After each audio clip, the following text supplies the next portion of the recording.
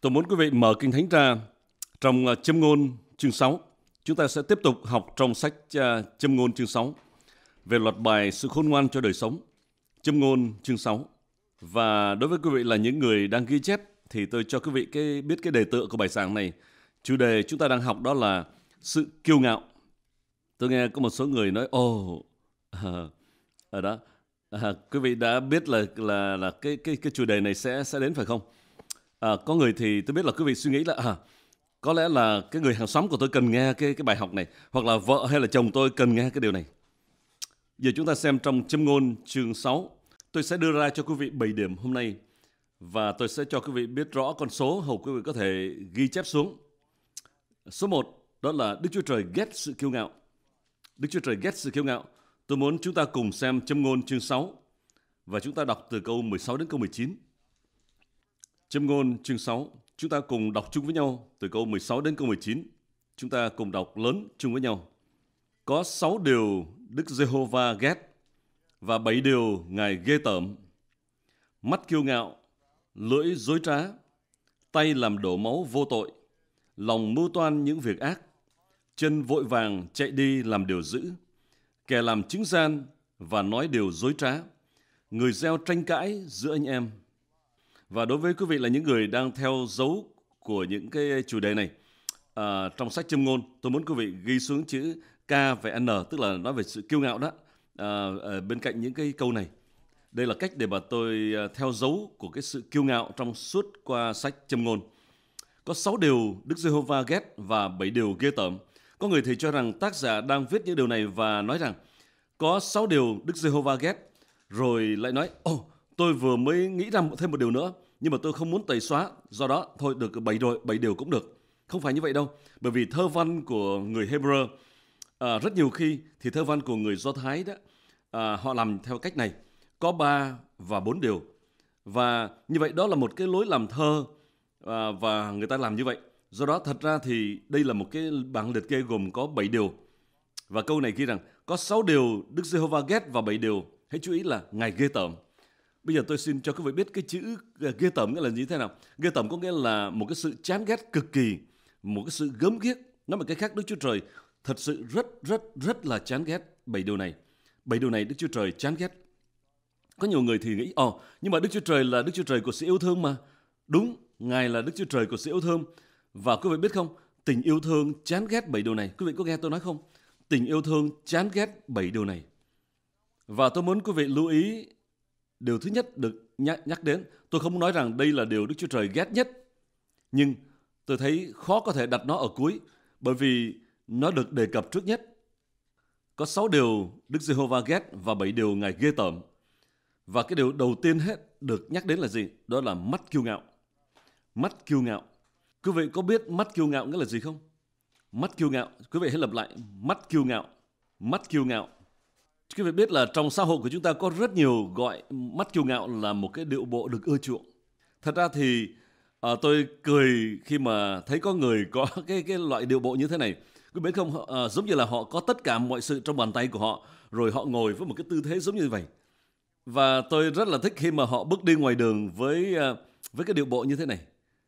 À, à, có lẽ là họ mang kính mát, rồi thì có nữ trang à, đeo trên người vân vân.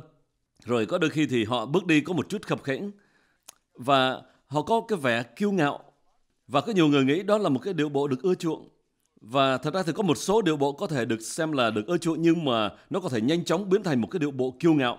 Và khi nó biến thành cái điệu bộ kiêu ngạo thì tôi thưa với quý vị là Đức Chúa Trời ghét điều đó. Đức Chúa Trời ghét cái điều đó. Quý vị có bao giờ từng nói chuyện với 10 người khác và quý vị cố gắng để mà uh, trò chuyện có thể là để giải quyết một cái mâu thuẫn nào đó. Rồi quý vị nhìn vào trong mặt của họ có thể là họ không nói gì cả nhưng mà gương mặt của họ đang nói cho quý vị biết. Tôi không thèm nghe anh nói đâu. Anh nghĩ anh là ai mà dám chỉ dạy tôi à, cái gì đúng cái gì sai?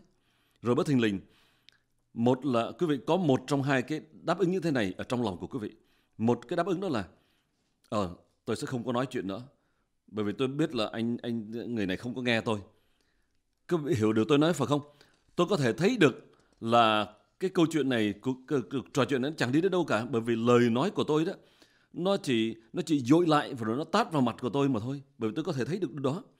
Rồi thì quý vị nói là à, anh anh có thể nghe tôi nói một chút được không? À, nói đi thì nói đi. Rồi có thể mắt họ trợn lên rồi có lần tôi xem hai mục sư nói chuyện với nhau. Tôi có mặt ở đó để giải hòa và tôi quan sát thì tôi thấy có một mục sư nói như thế này. À, tôi có thể nói được điều này không? Ờ nói đi. Rồi thì cả cái suốt cả thời gian mà cái vị mục sư kia nói đó thì cái mục sư này đó thì uh, thở dài uh, và tôi tôi hết sức là kinh ngạc và tôi suy nghĩ trong lòng. Ủa những người này lẽ ra họ phải phải trưởng thành hơn mới được chứ? Ít nhất thì cũng cũng bày tỏ một cái thái độ là à tôi muốn tôi muốn tìm tìm hiểu tôi muốn hiểu điều anh đang nói là gì. Nhưng mà họ có một cái con mắt kiêu ngạo và Đức Chúa Trời ghét điều đó con mắt kiêu ngạo. Đức Chúa Trời ghét con mắt kiêu ngạo có phải không? Ngài ghét con mắt kiêu ngạo. Đức Chúa Trời ghét điều đó. Quý vị hãy lặp lại là Chúa ghét sự kiêu ngạo. Để tôi xin giúp cho quý vị hiểu điều này. Nó không phải chỉ là làm cho ngài bực mình một chút. Không phải là không phải là ngài không thích cái, cái sự kiêu ngạo mà thôi. Nhưng đó là một cái điều ngài ghê tởm. Điều đó có nghĩa là nó làm cho ngài tức giận đối với sự kiêu ngạo đức chúa trời ghét cái um, con mắt kiêu ngạo do đó khi mà quý vị và tôi để cho chúng ta có một cái cái cái sự kiêu ngạo như vậy thì Đức Chúa Trời sẽ cảm có cái cảm tưởng như thế nào? Ngài không phải là chỉ hơi không thích một chút, nhưng mà khi thấy nói gì, Đức Chúa Trời ghét điều đó. Đây là một cái, cái, cái trường hợp mà tôi thích kể khi mà quý vị nói chuyện với một người khác và tôi để ý thấy là trong cái cuộc nói chuyện đó đôi khi thì tôi gần như là tôi bật cười lên. Quý vị ờ, đang nói chuyện với một người nào đó à, mà người đó đang có cái vấn đề à, về sự kiêu ngạo. Và rất nhiều khi quý vị nói một điều nào đó điều này hay điều kia đó rồi cái người đó trả lời như thế này. Ờ ờ được được ờ ờ được. Điều đó có nghĩa là gì? Có nghĩa là à, để tôi giải thích cho quý vị hiểu. Ờ tôi tôi đã biết tất cả mọi thứ mà anh nói rồi. Ờ tôi biết rồi tôi biết điều đó rồi. À, tôi tôi đã biết từ lâu rồi. Nhưng mà khi khi mà họ suy nghĩ như vậy nhưng mà ngoài miệng họ nói là ờ dạ à được rồi à được à, à được rồi thì họ cũng không có thèm nhìn quý vị nữa khi mà quý vị nói mà họ cứ nói là à được rồi được rồi tôi tôi nhìn chỗ này tôi nhìn chỗ kia bởi vì à, à, không có gì mà anh nói cho tôi nghe mà là mới mẻ cả. Họ nói họ cứ nói ờ à, được à, được được. Và hãy suy nghĩ xem nếu có một người đang học tiếng Anh mà mà nghe cái cuộc nói chuyện đó thì họ sẽ hỏi ờ, à, xin cho tôi nói đặt một câu hỏi được không? Cái chữ chữ oh yeah hay là được được đó nghĩa là gì? Chữ cái chữ uh, oh yeah ở giờ đó nghĩa là gì? Ở giờ à, nghĩa là gì?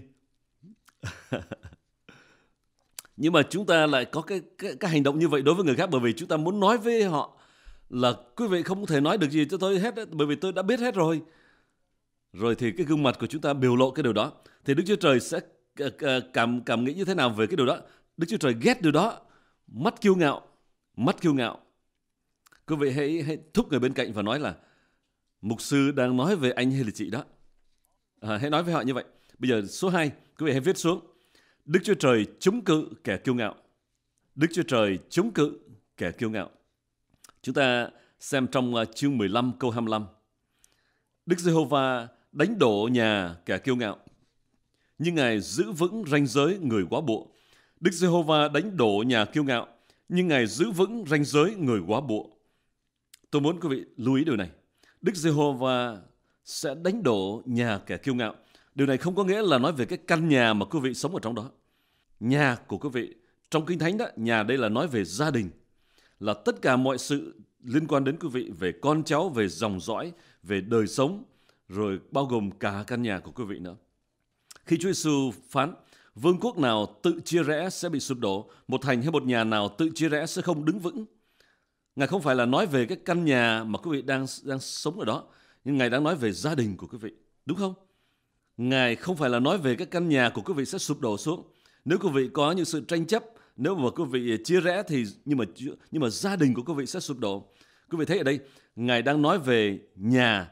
Đức Giê-hô-va đánh đổ nhà kẻ kiêu ngạo. Ngài sẽ hủy phá gia đình của quý vị và à, Ngài sẽ hủy phá đời sống của quý vị. Và tôi muốn cho quý vị uh, lưu ý một điều đó là Kinh Thánh không nói rằng nhà của ngươi sẽ bị hủy diệt. Nhưng mà nhưng mà Kinh Thánh nói như thế nào? Kinh Thánh bảo rằng Đức Chúa Trời sẽ làm điều đó. Ồ nhưng mà tôi tưởng là Đức Chúa Trời là Đức Chúa Trời của sự yêu thương cơ mà. Đúng, nhưng mà Ngài ghét sự kiêu ngạo, đúng không? Bây giờ chúng ta xem này, xem lại câu kinh thánh đó. Đức Giê-hô-va đánh đổ nhà kiêu ngạo. Quý vị biết là rất dễ để chúng ta đi nhà thờ rồi chúng ta nói những điều này điều kia, chúng ta cầu nguyện, chúng ta thờ phượng Chúa, chúng ta làm đủ thứ hết. Nhưng mà nếu mà chúng ta để cho sự kiêu ngạo ở trong lòng của chúng ta thì tôi cho quý vị biết một điều là Đức Chúa Trời sẽ chống cự chúng ta. Chúng ta có thể rơi vào một vị thế chống nghịch Đức Chúa Trời trong lĩnh vực của sự kiêu ngạo. Bao nhiêu người quý vị biết đây chính là cội rễ của vấn đề mà ma quỷ phải đương đầu khi nó bị quăng ra khỏi thiên đàng. Và Chúa Giêsu bảo, ta thấy sa tăng bị quăng xuống như cái gì như thế nào? Như chớp từ trên trời. Nó bị nó bị nó bị đá ra khỏi thiên đàng nhanh như thế nào? Nhanh như là một tia chớp. Quý vị biết tại sao? tòa bị Đức Chúa Trời ghét sự kiêu ngạo. Quý vị có nghe điều tôi nói không? Và quý vị nghĩ là Đức Chúa Trời ném ma quỷ ra khỏi thiên đàng nhưng mà đối với quý vị thì Ngài sẽ khoan dung đối với sự kiêu ngạo của quý vị hay sao? Chúng ta suy nghĩ như thế này, ở Chúa sẽ chấp nhận tính kiêu ngạo của tôi bởi vì Ngài biết tôi. Ngài biết tôi tốt đẹp như thế nào.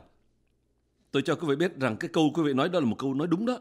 Ngài biết quý vị tốt đẹp như thế nào và quý vị có thể sẽ ngã lòng khi khám phá ra rằng Ngài biết những gì, đúng không? Đức Chúa Trời ghét sự kiêu ngạo. Đức Giê-hô-va chúng ta lưu ý, nếu quý vị có cây viết xin hãy gạch dưới cái chữ Đức Giê-hô-va. Đức Giê-hô-va đánh đổ nhà kẻ kiêu ngạo. Nhưng Ngài giữ vững ranh giới người quá bụa. Bây giờ chúng ta à, đi sang à, tấn ước một chút và chúng ta tôi sẽ đọc cho quý vị trong thư phi thứ nhất chương 5 câu 5 và hãy nghe cả đoạn kinh thế này nói về những người dễ trở thành kiêu ngạo. À, phi bảo cũng vậy, các thanh niên hãy thuận phục các trưởng lão. Quý vị có lưu ý thấy rằng những người trẻ tuổi nhiều khi khó thuận phục những người lớn tuổi phải không? Hỡi những người trẻ tuổi hãy thuận phục người lớn tuổi hơn. Đúng. Rồi thì Führer sẽ nói về tất cả mọi người đây. Đúng, tất cả mọi người hãy thuận phục. Quý vị biết uh, là có một số người nghĩ là họ có thể được nâng lên đến một cái địa vị mà họ không cần phải thuận phục ai nữa. Nhưng mà không có một cái chỗ nào như vậy cả. Khi Chúa Giêsu chính Chúa Giêsu ở đây đến thế gian này, quý vị có biết ngài nói như thế nào? Ta không nói bất cứ điều gì trừ khi ta nghe cha ta nói. Ta không làm bất cứ điều gì trừ khi cha thấy cha ta làm điều đó. Đây chính là Đức Chúa Trời trong thân xác con người là Emmanuel. Nhưng Ngài vẫn không làm bất cứ một điều gì nếu không có sự cho phép. Ngài hoàn toàn vâng phục Đức Chúa Cha. Tất cả mọi người đều phải vâng phục thẩm quyền. Quý vị hãy nói điều đó lớn lên. Tất cả mọi người đều phải thuận phục thẩm quyền. Như vậy, Kinh Thánh ghi, mọi người hãy mặc lấy sự khiêm nhường mà đối đãi với nhau. Nói cách khác, không phải là chỉ cần à, đội lên một cái nón khiêm nhường là đủ rồi. Có người thì đội cái nón lên đầu một chút cái cái mũ khiêm nhường đó, bày tỏ một chút khiêm nhường. Ờ ờ à, được rồi, à, anh biết đó, tôi tôi không tôi không làm được đó, anh anh anh cứ vào làm được đó đi. Nhưng mà đó là tất cả sự khiêm nhường mà được bày tỏ cho cả tuần lễ. Quý vị hiểu được tôi nói không? Đó chỉ là một cái mũ nho nhỏ để cho người khác thấy mình cũng có một chút khiêm nhường. Nhưng mà đây Chúa bảo là hãy mặc lấy có nghĩa là từ đầu cho đến chân. Hãy mặc lấy sự khiêm nhường. Và rồi, Chúa cho chúng ta biết tại sao. Vì Đức Chúa Trời chống cự cả kiêu ngạo nhưng ban ơn cho người khiêm nhường.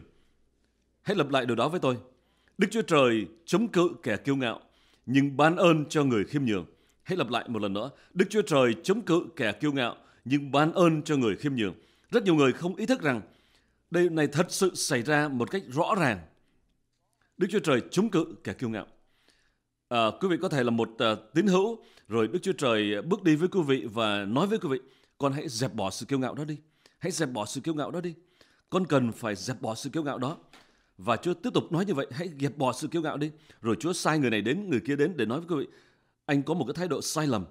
Anh có một cái thái độ sai lầm. Nhưng mà quý vị lại không nghe. Hãy dẹp bỏ sự kiêu ngạo đó. Rồi nhưng mà sau đó một thời gian nếu quý vị cứ quyết định tiếp tục bước đi trong sự kiêu ngạo đó thì Đức Chúa Trời sẽ quay lại đứng trước mặt quý vị và ngài bắt đầu chống cự quý vị mà quý vị không hiểu Ủa, tại sao vậy? Tôi vẫn đi nhà thờ, tôi cầu nguyện, tôi sử dụng danh của Chúa, tôi làm những điều tôi cần làm. Nhưng mà quý vị có một cái yếu tố của sự kiêu ngạo này ở trong lòng của mình. Và chính đó chính là lý do mà quý vị không thể tiến bộ nhanh như là quý vị cần phải làm như vậy. Bởi vì quý vị đang gặp một cái sự chống cự và quý vị nghĩ, ồ, oh, đó là ma quỷ, đó là ma quỷ. Nhưng mà Führer đang nói chuyện với các tín hữu ở đây và ông bảo, hãy thuận phục, thay đổi thái độ của anh em vì Đức Chúa Trời chống cự kẻ kiêu ngạo. Ờ, họ họ ước họ ước mong là à, ông nói rằng ồ những cái người không tin Chúa đó, đó quý vị biết họ họ không giống như chúng ta. Đúng vậy, Đức Chúa Trời sẽ chống cự những người đó. Không, nhưng mà Phêrô đang nói với hội thánh và ông nói rằng hãy mặc lấy sự khiêm nhường vì Đức Chúa Trời chống cự kẻ kiêu ngạo. Và tôi thưa với quý vị, quý vị có thể để cho sự kiêu ngạo xen vào trong đời sống của mình, rồi thì Đức Chúa Trời sẽ quay lại và nói với quý vị là không, ta sẽ không để cho con tiến xa hơn nữa. Ta sẽ không để cho tài chính của con gia tăng thêm. Ta sẽ không để cho các mối liên hệ của con tiến bộ hơn nữa. Ta sẽ không để cho sức khỏe của con tốt đẹp hơn. Bởi vì ta đang chống cự những gì con đang định làm đây. Như vậy thì quý vị đang sinh hoạt trong đời sống, cố gắng thành đạt. Quý vị đang cố gắng tin cậy Chúa, cố gắng uh, để lên chức, cố gắng để thăng tiến. Quý vị cố gắng để giải quyết mọi chuyện. Nhưng mà quý vị không biết rằng Đức Chúa Trời đã quay lại và bây giờ Ngài đang chống cự quý vị. Và tôi xin đặt một câu hỏi cho quý vị. Nếu quý vị đang đẩy về một hướng mà Đức Chúa Trời đang lại đẩy về một hướng khác thì ai sẽ thắng? Tôi biết bởi vì đôi khi thì tôi tôi đi máy bay uh, uh, và khi mà tôi uh, bay về từ miền Đông sang miền Tây đó thì tôi rất là mong muốn uh, được sớm về đến nhà. Nhưng mà đôi khi thì có những cơn gió ngược chiều và phi công lên tiếng. Ồ, à, chúng ta có một cái trận gió ngược chiều do đó chúng ta sẽ bị trì hoãn một chút. Và tôi không thích những điều như vậy, nhưng mà tôi rất là ưa thích khi mà người phi công đó nói về một cái cơn gió thuận chiều. Ồ thưa quý vị, chúng ta có một trận gió thuận chiều, do đó chúng ta sẽ đến đến nơi uh, sớm hơn 15 hoặc là 20 phút. Tôi thích điều đó. Và tôi muốn nói cho quý vị biết một điều Kinh Thánh bảo rằng Đức Chúa Trời chống cự kẻ kiêu ngạo. Nhưng Kinh Thánh không ngừng ở đó, mà Kinh Thánh ghi tiếp như thế nào? Nhưng Ngài ban ân điển cho kẻ khiêm nhường. Quý vị có biết đó, đó chính là một cái trận gió thuận chiều. Đó là nói về người người khiêm nhường đó. Người khiêm nhường là cái người mà họ có một cái trận gió thuận chiều giống như là chính Đức Chúa Trời đã giúp đỡ họ mà họ không đáng hưởng được cái điều mà họ đã hưởng được bởi vì họ không tài giỏi lắm. Quý vị có bao giờ trông thấy có những người mà họ đã được thăng chức, họ tiến bộ trong đời sống, mọi sự diễn tiến một cách tốt đẹp và quý vị biết là họ không phải là một người tài giỏi gì và tôi đã nhìn thấy họ đấy và họ không có tài cán gì cả. Tại sao họ lại được nhiều kết quả như vậy? Đó là bởi vì họ khiêm tốn. Họ có một cái cái trận gió thuận chiều. Đức Chúa Trời ban ân đền cho người khiêm nhường. Ngài đang giúp đỡ họ và những điều này làm cho những người kiêu ngạo bực mình. Họ nhìn thấy và họ nói, tôi biết là tôi giỏi hơn cái người đó, giỏi hơn cái thằng đó mà tại sao họ lại ban cho cái điều đó cho nó? Tại sao nó lại được hưởng tất cả? Họ giữ tôi lại mà họ lại cho cái thằng đó được thăng chức lên. Trong đầu nó chỉ có xương mà thôi. Đó quý vị thấy điều đó, quý vị thấy điều đó phải không? Đúng không? Đừng nói với tôi là quý vị chưa bao giờ nghĩ như vậy. Quý vị thấy không? Tôi thưa với quý vị là Đức Chúa Trời chống cự kẻ kiêu ngạo. Và hãy nghe kỹ đây. Bất luận quý vị là ai, bất luận quý vị đã biết Chúa bao lâu, bất luận quý vị đang giữ chức vụ nào, bất luận là quý vị đã vượt qua bao nhiêu khó khăn, bất luận là quý vị đã từng đối phó với sự kiêu ngạo trong đời sống của mình cách đây bao lâu, nếu quý vị để cho nó trở lại một lần nữa trong đời sống của mình, thì thử đoán xem Đức Chúa Trời sẽ làm gì đối với quý vị. Ngài sẽ chống cự quý vị. Như vậy, quý vị đang cầu nguyện, xin Chúa cất nhắc con lên, xin Chúa cất nhắc con lên, thì Chúa phán, không được. Con phải giải quyết vấn đề kiêu ngạo. Giải quyết vấn đề kiêu ngạo đó. Nói cách khác, à, thí dụ về phương diện tăng trưởng và thăng tiến, nếu quý vị đang ở lớp 3 và quý vị đang nhờ cậy Chúa để lên lớp 4, tức là lên một mức độ cao hơn nữa, nhưng quý vị có sự kiêu ngạo trong lòng, thì Đức Chúa Trời sẽ để cho quý vị ngồi lại trong chiếc ghế của lớp 3 đó. Thật ra Ngài có thể ờ, đem quý vị trở lại lớp 2, rồi quý vị có thể ngồi đó nhiều năm, quý vị có thể lớn quá lớn cho lớp lớp 2 chiếc ghế của lớp 2 đó à, nó sẽ dính chặt vào người quý vị. Y như thể là quý vị đang mặc chiếc ghế đó vào người vậy. Mọi người nhìn quý vị và thắc mắc ủa tại sao cái thằng đó lại như vậy? Tại sao vậy? Rồi quý vị trả nói ồ tôi không biết. Tôi đang làm mọi điều như là người ta bảo tôi nói mà tôi làm mà. Nhưng mà quý vị thấy không? Đức chúa trời chống cự quý vị. Đức chúa trời chống cự kẻ kiêu ngạo. Và số 3, quý vị hãy ghi xuống. Kẻ kiêu ngạo gây ra tranh chấp. Kẻ kiêu ngạo gây ra tranh chấp. Chúng ta xem trong châm ngôn chương 13 câu 10, sự kiêu ngạo chỉ sinh ra điều tranh cãi, còn sự khôn ngoan ở với người chịu nghe lời khuyên dạy. Sự kiêu ngạo chỉ sinh ra điều tranh cãi, còn sự khôn ngoan ở với người chịu nghe lời khuyên dạy. Quý vị có biết câu kinh thánh đó nói gì không? Người kiêu ngạo thì thiếu sự khôn ngoan. Họ không thấy rõ được vấn đề. Họ chỉ tập trung tinh thần vào chính mình, đến nỗi họ không thấy được cả cái vấn đề tổng quát. Chúng ta lưu ý một lần nữa, sự kiêu ngạo chỉ sinh ra điều tranh cãi. Quý vị hãy nghe đi, không điều gì khác hơn là tranh tranh chấp và kiêu ngạo không bao giờ đem lại bất cứ một điều gì khác hơn là tranh chấp. Đó có phải là điều Kinh Thánh nói không? Kinh Thánh không bảo rằng tranh chấp là một trong những điều kiêu ngạo đem lại, nhưng sự kiêu ngạo chỉ sinh ra điều tranh cãi. Quý vị có giờ thấy có những người mà họ có những tranh chấp ở nhà tranh chấp ở sở làm, tranh chấp ở nhà thờ, rồi họ đi bất cứ một nơi nào khác. Sau một thời gian thì cũng sẽ có tranh chấp ở đó. Cứ biết tại sao không? Kiêu ngạo, kiêu ngạo, kiêu ngạo. Sự kiêu ngạo chỉ sinh ra điều tranh cãi. Giờ chúng ta xem chương 28 câu 25, kẻ kiêu ngạo gây ra sự tranh cãi. Nói cách khác, họ có thể bước vào trong một môi trường hoàn toàn bình an. Nhưng mà chẳng bao lâu đâu, sẽ có sự tranh chấp dấy lên. Có người chỉ giỏi khuấy rối và rồi họ lui lại và hành động như thể là đó là hai người khác gây rối. Nhưng thật ra họ chính là người đã khích động. Họ chính là người đã nêu ra câu hỏi, Ủa, anh chịu để cho nó làm như vậy sao? Hãy xem cách mà nó đối xử với anh kìa. Tôi không thể tin nổi, anh để cho nó... À, tôi tôi không biết, tôi, tôi sẽ không để cho yên, yên cho nó đâu. Không biết anh nghĩ thế nào chứ tôi sẽ không để yên chuyện này đâu. Rồi bất thình lình, quý vị sẽ thấy là có tranh chấp xảy ra. Và rồi thì những người đó họ lùi lại. Rồi họ đi nói với cái, cái cấp trên. Ờ, tôi sẽ không để cho họ à, tranh cãi như vậy đâu. Nếu tôi là chủ, tôi sẽ không để cho họ làm như vậy. Và có thể là phải tốn một thời gian quý vị mới có thể phát giác ra cái vấn đề là gì. Đó chính là sự kiêu ngạo. Chuyện này xảy ra luôn luôn. Tôi biết nhiều về các mục sư hơn là về những người khác trong giới kinh doanh. Tôi biết rất nhiều các mục sư. Thậm chí họ không thể đi vào và lắng nghe một người khác giảng dạy. Họ không thể tiếp nhận bất cứ một điều gì bởi vì suốt thời gian họ ngồi đó. Ngồi đó, tiếp nhận, đáng lẽ ra phải tiếp nhận, thì họ lại so sánh. Ồ, oh, mình mình có thể giảng hay hơn như vậy. Mình sẽ dùng câu kinh thánh này. Đó. Và mình còn có một cái thí dụ hay hơn như vậy nữa. Rồi thì trong suốt thời gian họ ngồi đó, chỉ suy nghĩ về chính mình, đó là sự kiêu ngạo. Họ không thể tiếp nhận được. Quý vị thấy không? Đó là một người kiêu ngạo. Tôi còn nhớ khi tôi à, làm việc ở trong à, trong à, đoàn thanh niên toàn quốc thì có một người mà bất cứ khi nào mà chúng tôi vào trong một cái buổi họp, bất luận đó là vấn đề gì, bất luận đó là chương trình như thế nào, bất luận là tôi đang nói về điều gì hay là đang làm việc về vấn đề gì, thí dụ như là mời người khác hợp tác vân vân thì cái người này luôn luôn chống đối. Bất luận đó là về vấn đề gì, cái người này luôn luôn chống đối, luôn luôn đặt câu hỏi, luôn luôn đem đến những cái điều tiêu cực, luôn luôn như vậy. Và trong uh, dần dần sau đó một thời gian thì thì tôi ý thức được có một cái sự kiêu ngạo ở đó, có một cái sự kiêu ngạo ở trong lòng người đó. Đó chính là bởi vì cái người này muốn cái chức vụ mà tôi đang có lúc bây giờ. Mà bởi vì người đó không có được cái chức vụ mà tôi tôi đang giữ thì ra anh ta sẽ không có yểm trợ tôi hay là làm bất cứ một điều gì mà có thể làm cho tôi trông có vẻ như là tôi đang có kết quả tốt.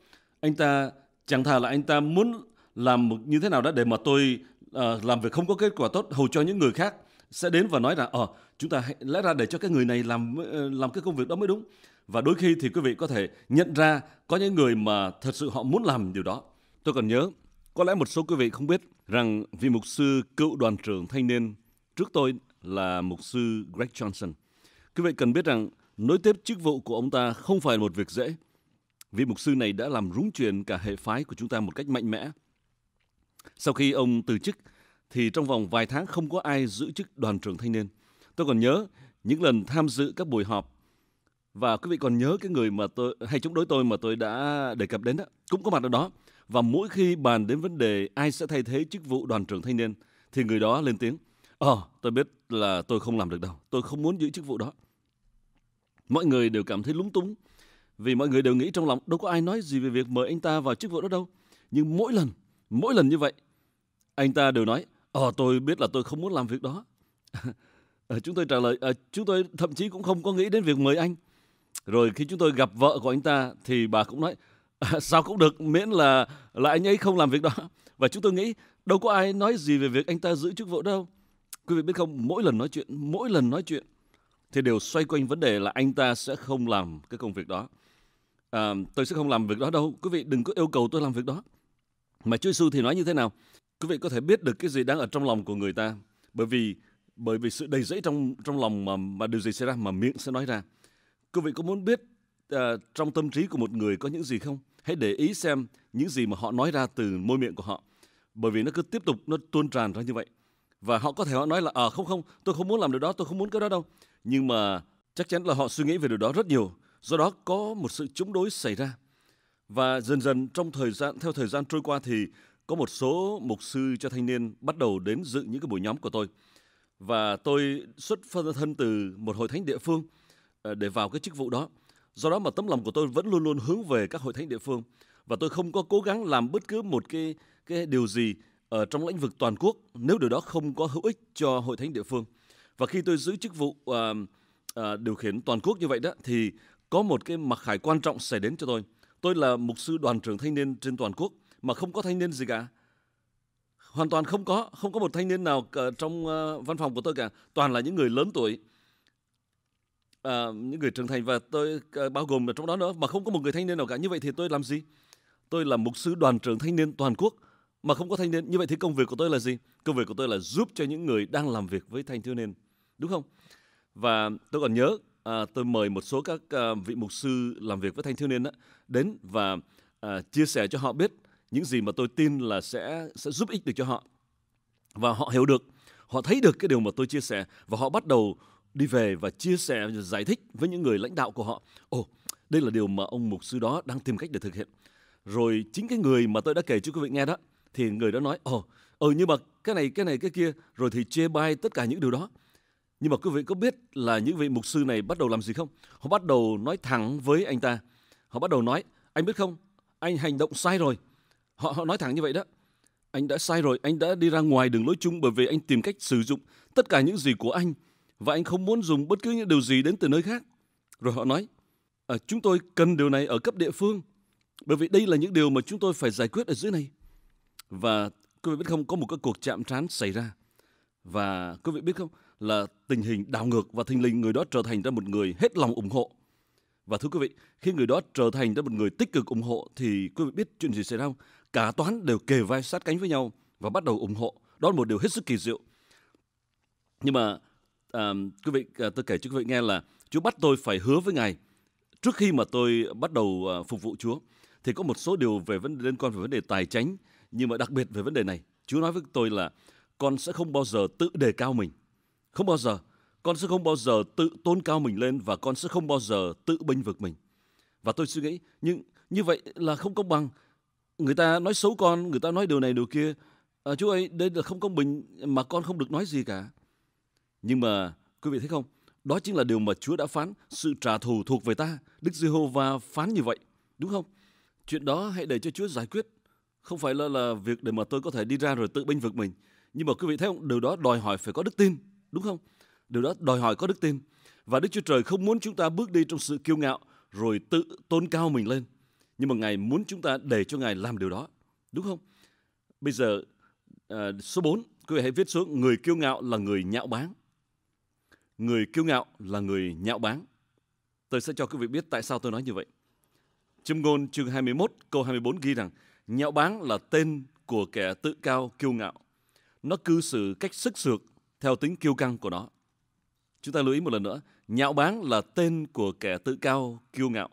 Tên của kẻ tự cao kiêu ngạo là gì? Là nhạo báng. Làm sao chúng ta biết điều đó? Bởi vì Kinh Thánh nói như vậy. Nhạo báng là tên của kẻ tự cao kiêu ngạo. Nó cư xử cách sức sược theo tính kiêu căng của nó. Giờ chúng ta à, xem tiếp à, châm ngôn chương 15 câu 12. Vì nhạo báng là tên của nó, Do đó mà tôi cho quý vị thấy thêm một vài câu kinh thánh nói về kẻ nhạo báng ở đây.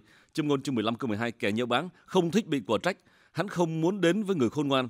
Trong một buổi nhóm của chúng ta, tôi nhìn tất cả mọi người và tôi bảo, quý vị có yêu thương người mà sửa dạy quý vị không? Thì có một phụ nữ ngồi phía đằng sau đó là không. và tôi nói, lạy Chúa xin hãy giúp kẻ nhạo báng ở đó. Kẻ nhạo báng không thích bị quả trách, hắn không muốn đến với người khôn ngoan.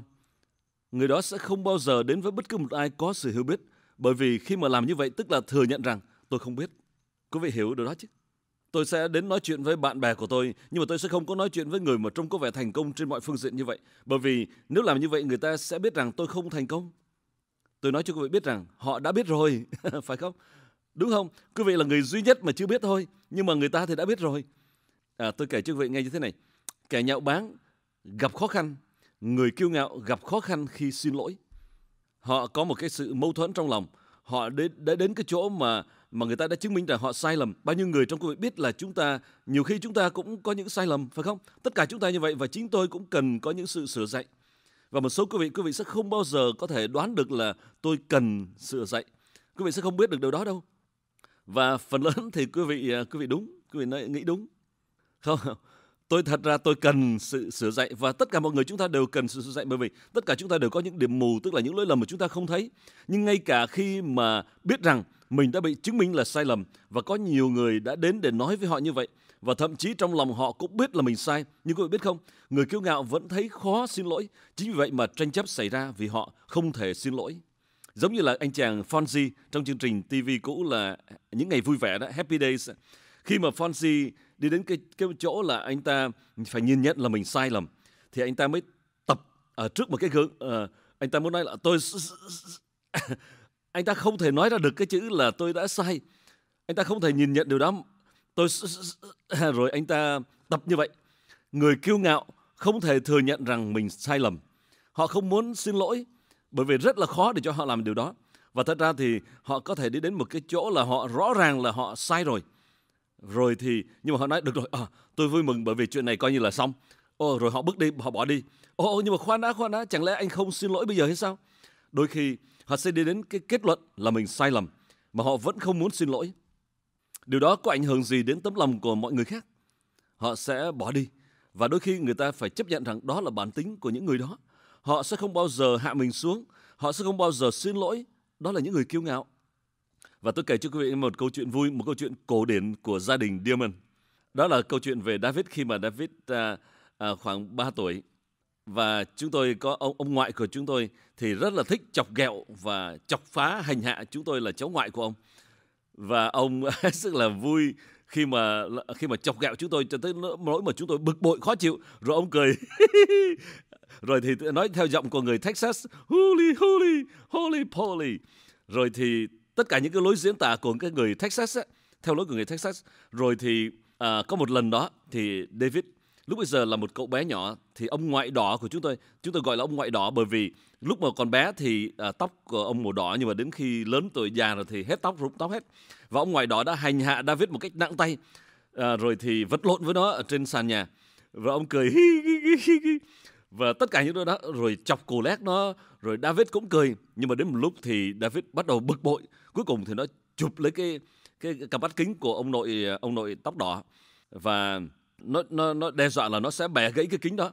Thì bố của tôi lúc bây giờ đang quan sát tất cả mọi sự thì bố tôi mới bất thình lình nói khoan đã con uh, con trả kính lại cho ông ngoại đi.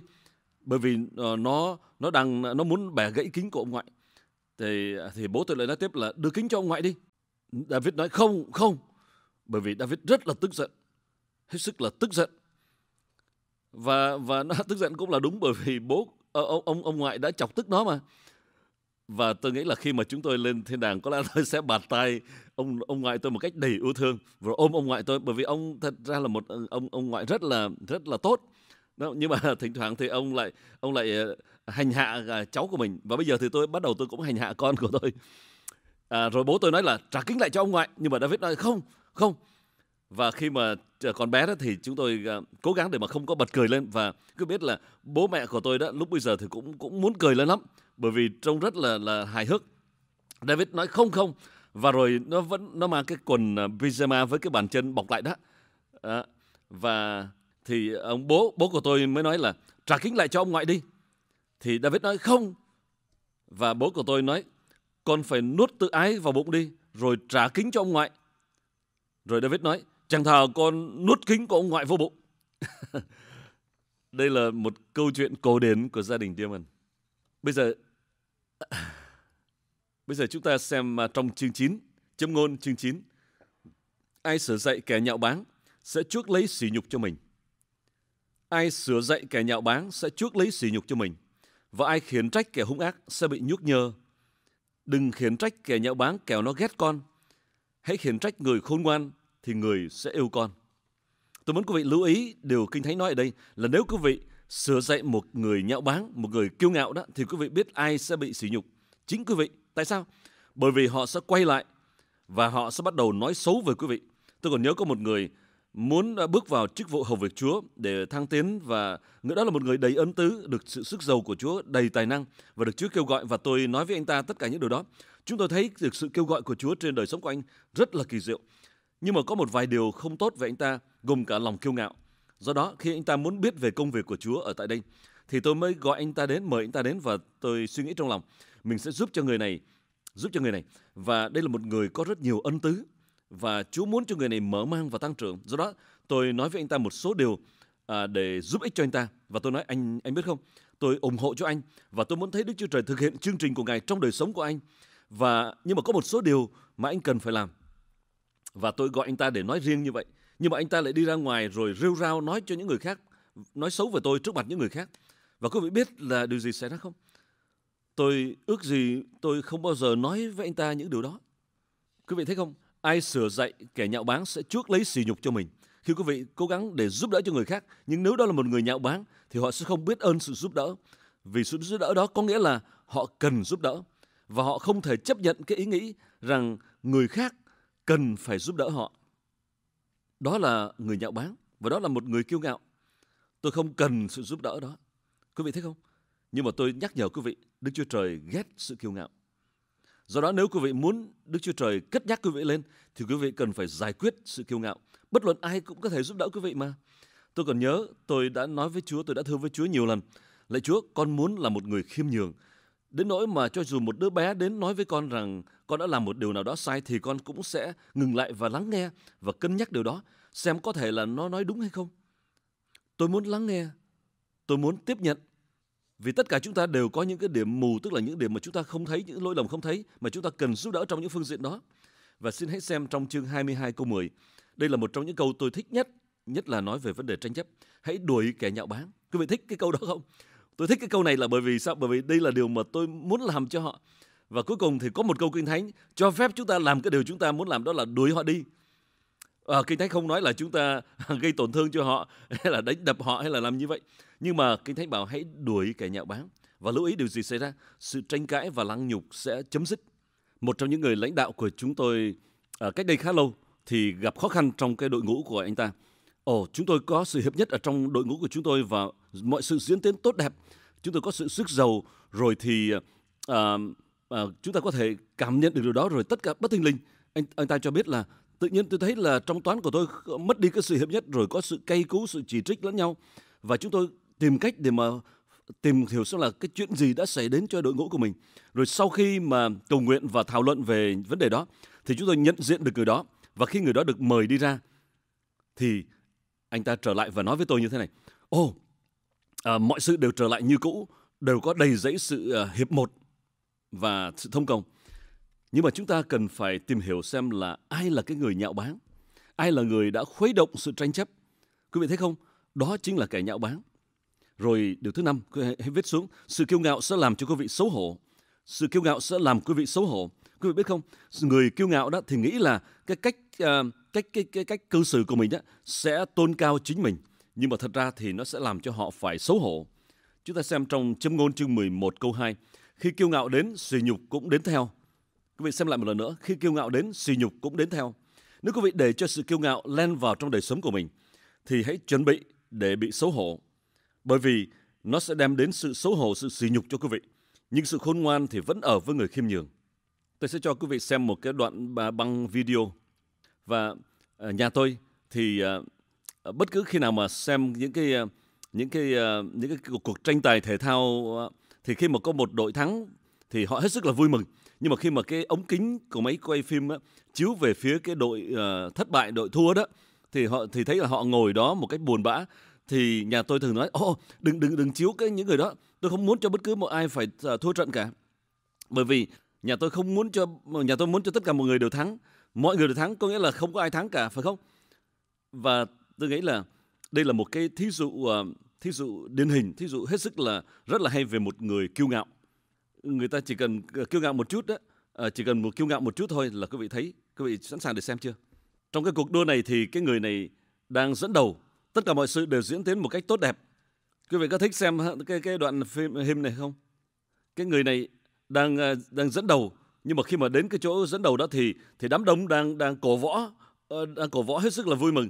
Và thì anh ta bắt đầu suy nghĩ à, đúng rồi đúng rồi đúng rồi. Rồi rồi anh ta vỗ tay đưa tay lên trên vỗ tay thì bất hình bùm một cái. Quý vị muốn xem lại không? Quý vị có thấy cái được, được không? Anh ta té xuống đất rồi anh ta đứng dậy và tìm cách để mà leo lên chiếc xe đạp. Rồi thì cái người kia những người kia đã vượt qua anh ta và anh ta ý thức được ô oh, không được không được. Rồi anh ta mới bắt đầu bỏ xe đạp xuống và bắt đầu chạy. Anh ta tìm cách để mà rượt theo bằng cách là chạy. Trước đó thì là đạp xe đạp mà bây giờ tự nhiên lại muốn chạy. À, nhưng mà thưa quý vị khi mà kiêu ngạo đến thì điều gì xảy đến? Sỉ nhục xấu hổ xảy đến.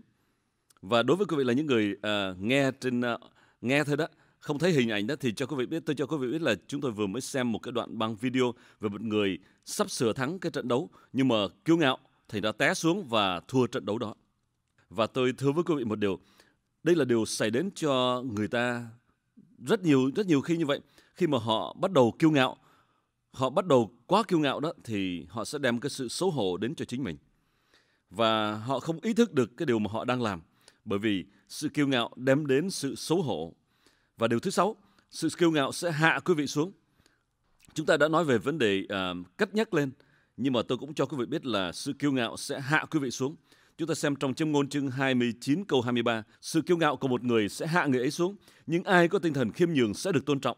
Chúng ta nghe câu chương 30 câu 32, nếu con có dại dột mà tự cao tự đại, chúng ta lưu ý điều tác giả nói, tự nâng mình lên, tự tôn sùng mình, tự đề cao mình, khoe khoang về mình là điều dại dột. Tác giả bảo, nếu con có dại dột mà tự cao tự đại, hoặc nếu con có âm mưu điều ác, thì con cần phải làm gì? Hãy lấy tay che miệng lại tức là một cách nói uh, cách nói tử tế đó là câm miệng lại. Nếu quý vị đã từng dại dột mà tự tôn cao mình thì đây là điều quý vị cần làm. Quý vị cần phải câm miệng lại. Quý vị cần phải ngừng lại đặt tay che miệng mình lại. Bởi vì nếu quý vị không kiểm soát được miệng mình vì điều đó chỉ gây ra phá hủy cho đời sống làm hư hỏng đời sống quý vị. Tôi còn nhớ khi tôi ở trong một cái hội thánh cũ của tôi thì ở đó có những cái đội banh softball và một đội hạng nhất là đội vô địch và những người này là những người rất là năng động rất là tài giỏi. Thì à, tôi còn nhớ họ bảo là họ mời tôi à, ra đây ra đây anh chơi thử đi. Vì chúng tôi sinh hoạt và vui đùa với nhau và tôi cũng giữ phần trong chương trình mục vụ ở đó. Do đó tôi cũng đến để chơi thử. Trước đó tôi chưa bao giờ chơi bóng chày. À, do đó tôi chơi không có hay lắm. Nhưng mà quý vị biết không tôi có thể à, bắt được cái trái banh đang bay. Nhưng mà tôi không có giống như những cái đứa bạn của tôi những người này thì rất là giỏi. Nhưng mà vì một cái lý do nào đó mà tôi có thể đánh trúng vào những trái banh và dĩ nhiên là tôi vung cây lên để mà đánh trái banh bay lên tận mặt trăng. Và tôi muốn tận dụng hết sức của mình để đánh. Do đó thỉnh thoảng khi mà tôi đánh đánh hụt thì suýt nữa té và những người xung quanh cười lên. Và bởi vì cái trái banh softball to lớn và tôi hết sức đánh banh qua cái hàng rào. Nhiều khi tôi đánh được qua một vài lần bay qua hàng rào. Và do đó mà họ mời tôi uh, chơi trong cái đội bánh hạng nhất đó và tôi nghĩ có lẽ là phần lớn là bởi vì cái tình bạn giữa tôi với họ thành ra họ cho tôi chơi trong cái đội bánh đó. Và chúng tôi có những thời giờ hết sức vui vẻ và tôi cũng có thể chơi một vài cái ờ, một vài cái trận đấu rất là rất là kết quả tốt. Và phần lớn là đánh được trái banh bởi vì ờ, họ đặt tôi vào một cái chỗ mà ít có khi nào mà được cơ hội để đánh banh. Rồi ờ, năm sau đó thì có một người thanh niên bắt đầu đến với hội thánh chúng tôi tên là Steve. Steve bắt đầu hỏi chúng tôi ồ oh, À, quý vị có có những đội banh softball phải không? Rồi anh ta bắt đầu nói cho chúng tôi biết là anh ta là một người chơi softball rất là giỏi. À, anh ta nói về hết điều này đến điều kia và những điều mà anh ta biết rồi thì à, chúng tôi nói ờ, vâng vâng chúng tôi có một vài đội banh ở đây và đội banh hạng nhất của chúng tôi là đội banh vô địch. Thì anh ta nói oh yeah à, tôi sẽ tôi sẽ chơi trong cái đội banh hạng nhất đó. Rồi thì à, nghe nghe anh ta nói thì rất là tức cười nhưng mà quý vị biết không tôi cũng không có nói gì cả bởi vì cái người này có thể là một người rất là giỏi và anh ta cứ tiếp tục nói với những người khác ô ô được rồi được rồi.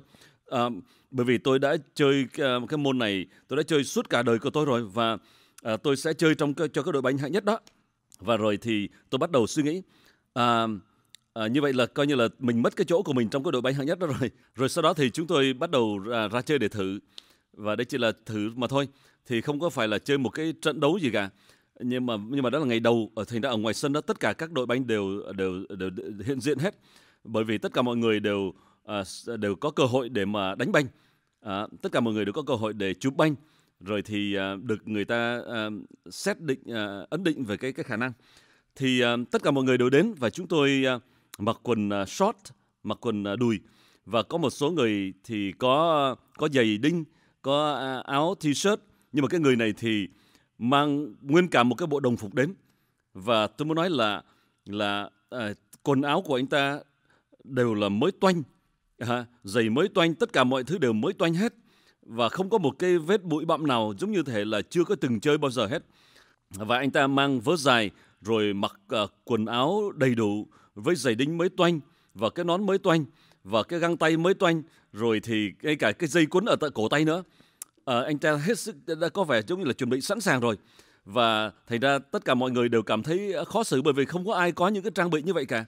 Nhưng mà đấy chỉ là cái cái lúc mà người ta ra để để mà thử mà thôi chứ không phải là thật sự đấu một cái trận đấu nào. Anh ta đi ra đó và liên tục đập vào găng tay của mình và hỏi ờ các anh đã sẵn sàng chưa? Các anh đã sẵn sàng chưa? Và họ hỏi anh ờ, anh đứng ở vị trí nào? Anh ta bảo ở tôi vị trí hộ vệ ở giữa số 2 và số 3 rồi thì họ đặt anh ở vị trí đó và anh ta bắt đầu đánh banh anh ta bắt đầu bị bị bị những trái banh đó văng trúng anh ta. Rồi sau đó thì quý vị biết không anh ta đánh banh rồi thì uh, đánh hụt rồi thì và anh ta cuối cùng thì không có được ờ, chọn vào trong cái đội banh đó. Chẳng những anh ta không được chọn vào uh, đội banh số 1 nhưng mà anh ta còn lại trở thành trò cười cho mọi người. Quý vị có hiểu được tôi nói không? Anh ta trở thành trò cười. Và không phải bởi vì tôi cho quý vị biết tại sao anh ta lại trở thành ra một cái trò cười. Đó không phải là bởi vì anh ta không giỏi nhưng mà quý vị biết tại sao? Bởi vì anh ta đã tự quảng cáo chính mình rằng anh là một người rất giỏi. Nếu mà anh đã đặt tay trên miệng của mình và bảo rằng, ồ, à, tôi có có chơi banh và tôi sẽ đi ra để chơi với các anh. Biết đâu thì anh ta có thể được tuyển vào đội bánh số 1. Ai mà có thể biết được, phải không? Nhưng mà tôi biết điều này là một khi mà anh ta khoe khoang rằng mình giỏi như vậy thì à, giống như là con gái của tôi nó nói, bôi cái anh chàng đó nó nó nó cho là nó là tất cả đó thì tôi mới nói, tất cả đó là cái gì? Thì con gái tôi mới nói, không không, bố ơi, hắn cho là hắn là tất cả đó. Thì tôi mới nói là, con ơi, con biết không? Là khi, đó không phải là tiếng Anh đúng theo văn phạm. Con cần phải phải à, nói cho xong cái câu đó. Thì con gái tôi mới nói, không, bố ơi, tất cả đó, nó nó nghĩ là nó là tất cả đó. Thì à, tôi mới nói là ừ hắn không phải là tất cả đó bởi vì hắn không nói được hết câu. Có biết không? Tất cả đó tức là all that okay. Vâng, tôi muốn nói với quý vị một điều. Nếu quý vị không tự đề cao mình và khoe khoang đặt mình lên trên một chiếc ghế cao sang, như Chúa Giêsu phán, khi các con vào một rạp hát, đừng tự ngồi lên cái chỗ ở hàng đầu. Có phải là Chúa nói như vậy không?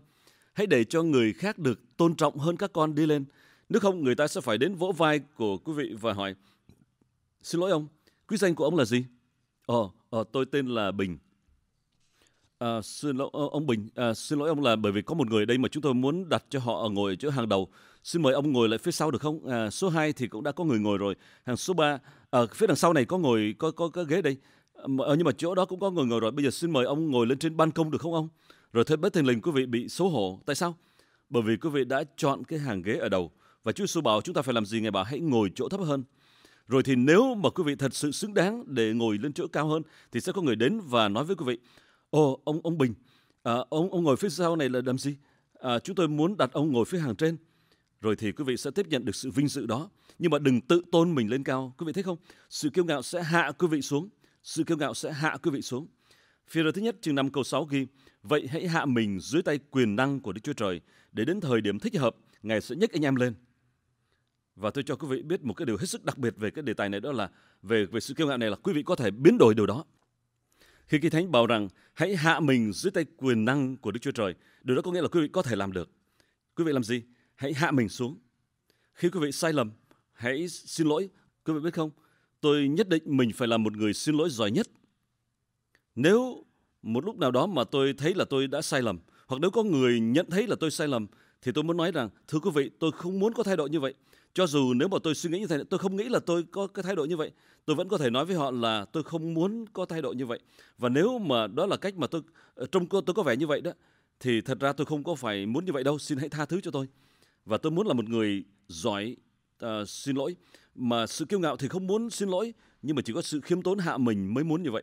Thì đó hãy hạ mình xuống, hãy xin lỗi và đến trước mặt Chúa và bảo rằng lạy Chúa, nếu mà có sự kiêu ngạo ở trong con thì con sẽ xua đuổi nó đi.